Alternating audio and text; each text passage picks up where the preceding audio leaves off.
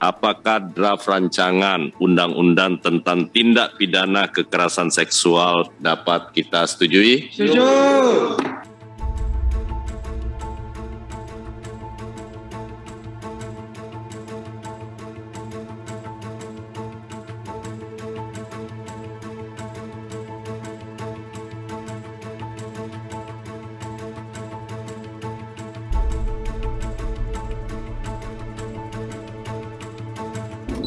Ada capaiannya misalnya di RUU TPKS dia mengatur tentang kekerasan berbasis gender online walaupun hanya di pelecehan seksual.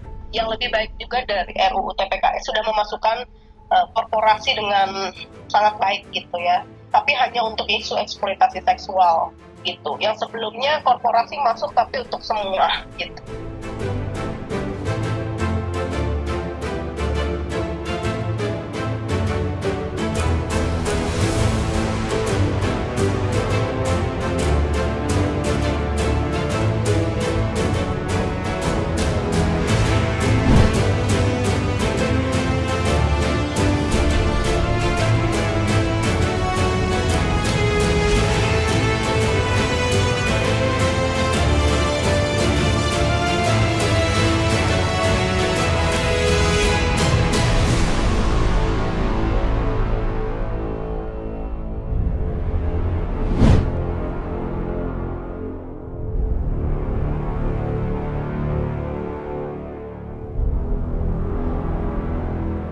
Kalau pelecehan seksual non fisik delik aduan itu masuk akal gitu ya. Tapi kalau pelecehan seksual fisik yang sudah mengarah ke percobaan perkosaan, percobaan eksploitasi seksual, dia harusnya nggak boleh delik aduan. Ketika misalnya pelecehan seksual fisik menjadi delik aduan, ini bahaya juga gitu.